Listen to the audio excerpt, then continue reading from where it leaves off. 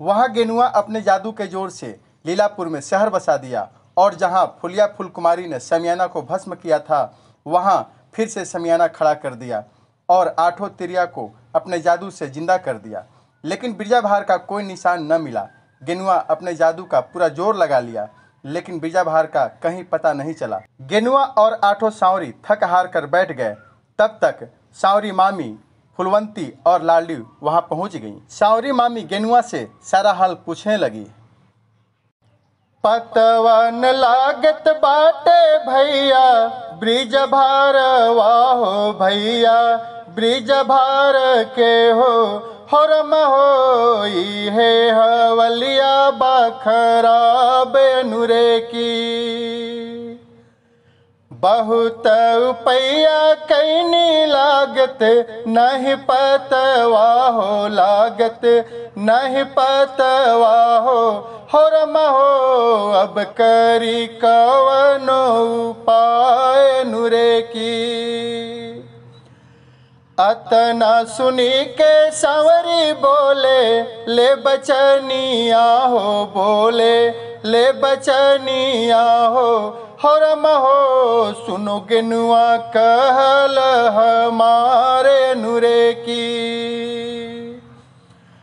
जब लाग कतही नाही पता, ब्रिज भार के हो पता, ब्रिज भार के हो हरम हो तब फुलिया रख ले बाछी पाए नुरे की। इतना सुनी के गनुआ कहे ला बचनिया हो कहे ला बचनिया हो। हरम हो सुन मामी कहल हमारे नुरे की।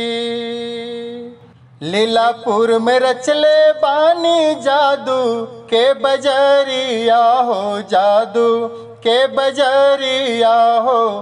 हरम हो चलो लागी हमें से पतय नुरे की हम लोग जितने भी हैं, सब लोग अलग अलग हो जाएँ और घूम घूम कर पता लगाने की कोशिश करें।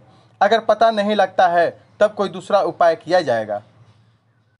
अतना सुनी के सावरी सब, ही के संग वाहो सब, ही के संग वाहो हरम हो लेके चली गेनुआ के साथ अनुरे की लीलापुर सहरिया भीतर गईले, लेके संग वाहो गईले, लेके संग वाहो हरम हो जहाँ रहे जादू के बाज़ार अनुरे की छिट पुट हो कर रामा पत वा लगावे ले हो पत, वा लगावे ले हो हरम हो लीलापुर के आवे लोग देखन रे की। लीलापुर शहरवा में भारी, भैले सोरवा हो भारी, भैले सोरवा हो हरम हो, आइल बाए गो सौदागर रे की। वहाँ गेनुआ ने भी अपना बाज़ार लगा लिया। बाज़ार में फुलिया फुलकुमारी का बाप, जिसका नाम बंगाली था, वो भी आया और गेनुआ से बाज़ार के लिए कौड़ी यानी पैसा मांगने लगा। तब सांवरी मुस्कुराते हुए बोली, कौड़ी तो आपको नहीं दूँगी महाराज, कल आप आना, आपको लौड़ी दूँगी, जो अनमोल रहेगी। अतना सुनी के चली गई, ले बंगलिया हो गई, ले बंगलिया हो हरम हो होकर खुशी आया पार नुरे की।